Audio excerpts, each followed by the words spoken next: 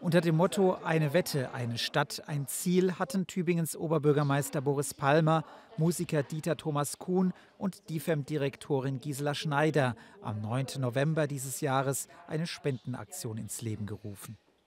Das Ziel 91.000 Euro sammeln, quasi einen Euro für jeden Einwohner der Stadt. Das Geld soll für den Bau einer Klinik für Frauen mit Fisteln nach sexualisierter Gewalt in der Krisenregion Ostkongo gespendet werden. Jetzt, nach drei Wochen, ist laut der Stadt bereits die Hälfte der Summe zusammengekommen. Damit liege man voll auf Kurs, um das Spendenziel bis zum 15. Dezember zu erreichen.